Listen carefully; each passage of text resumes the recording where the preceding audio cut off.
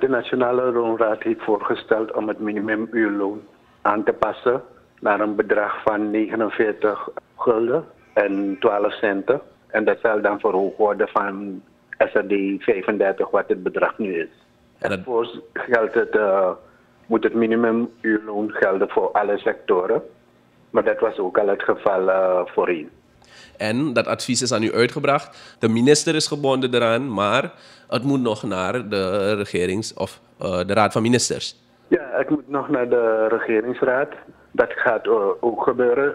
Dat is ook gebeurd, laat me zo zeggen. Er was vandaag een uh, spoedregeringsraadmeeting om te praten over een paar brandende issues. Ik heb van de gelegenheid ge- gebruik gemaakt om het eh, advies ook naar daar te brengen. Eh, de regeringsraad heeft het ook goedgekeurd. En nu is het even kijken naar de ingangsdatum.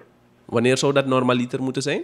Wel, eh, we hopen om het per 1 maart te doen, maar we zijn even nog bezig om te kijken naar een aantal eh, aanpassingen die nog even moeten plaatsvinden voor wat betreft de wet. Maar we hopen dat we die volgende week afgerond kunnen hebben. En zou u dat kunnen toelichten, eh, wat u bedoelt met aanpassingen van de wet? Wat zou er moeten gebeuren of waarom zou het eventueel niet per 1 maart kunnen?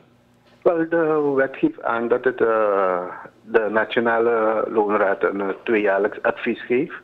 Dus eh, in principe, ze hebben vorig jaar een advies gegeven, dus het zou dan in principe pas weer in eh 2025 moeten.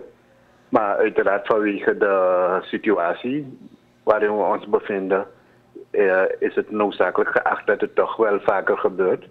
Maar om zaken richtig te laten ver- verlopen, juridisch ook, eh, hebben we de, gesproken met de vaste voor, eh, commissie Arbeid, Werkgelegenheid en Jeugdzaken. En die hebben dan een eh, initiatiefvoorstel ingediend ter aanpassing van de wet. Dus het parlement zou hier nog... Zodat, er- zodat er eh, een aanpassing kan plaatsvinden wanneer dat noodzakelijk is.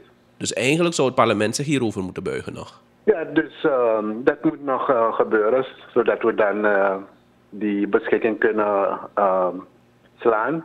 Waarin eh, staat aangegeven dat het minimumuurloon is aangepast naar 49 gulden en 12 centen. Afsluitende vraag, minister. Uh, het is een discussie elke keer wanneer een nieuw minimumuurloon moet worden bepaald.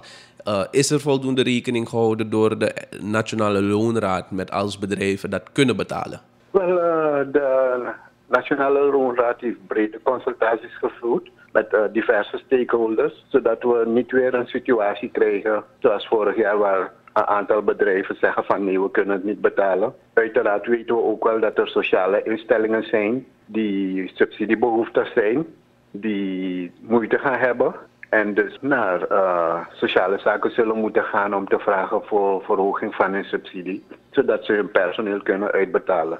Dus de minimumuurloon heeft niet alleen betrekking op bedrijven, want dat hoor je vaak genoeg. Het heeft ook betrekking op het uh, personeel van sociale instellingen die uh, niet vallen onder het beheer of bestuur van de overheid.